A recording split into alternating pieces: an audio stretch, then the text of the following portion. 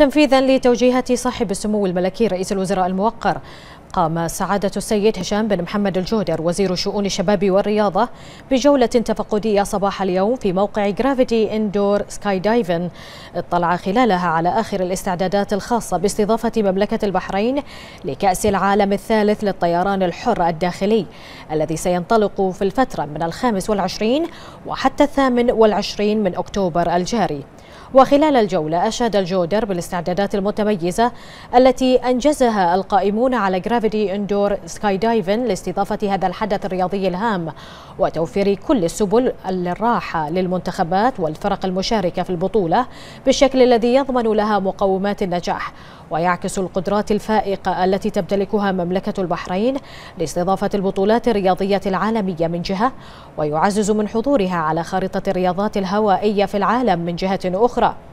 وأكد الجودر أن Gravity نجحت خلال فترة قصيرة في تعزيز مكانة مملكة البحرين في مجال الرياضات الهوائية من خلال ما تتمتع به من مواصفات عالمية. وأوضح الجودر أن النجاحات التي حققتها مملكة البحرين في المجال الرياضي جاءت بفضل الدعم الكبير من لدن جلالة الملك المفدى وصاحب السمو الملكي رئيس الوزراء الموقر وصاحب السمو الملكي ولي العهد.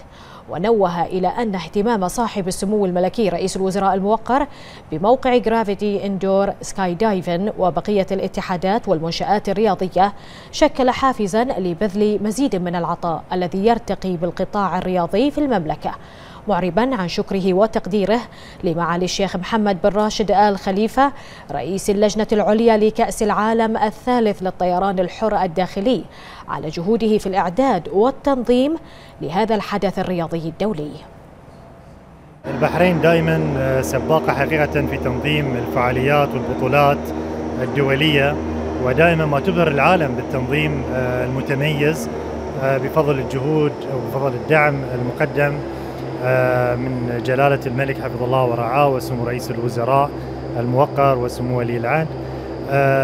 والدعم الكبير اللي يقدم لتنظيم مثل هذه الفعاليات. حقيقة نجد دائما مثل هذه الفعاليات تبهر العالم تبهر المشاركين. اليوم من خلال زيارتنا التفقدية السريعة هذه إلى التحضيرات الموجودة لاستضافة هذه البطولة. نرى بالفعل أن هناك عمل جبار حقيقة.